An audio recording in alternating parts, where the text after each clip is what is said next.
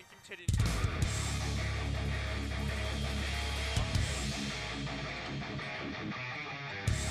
다시 한번 골밑 공략 이번에 성공시키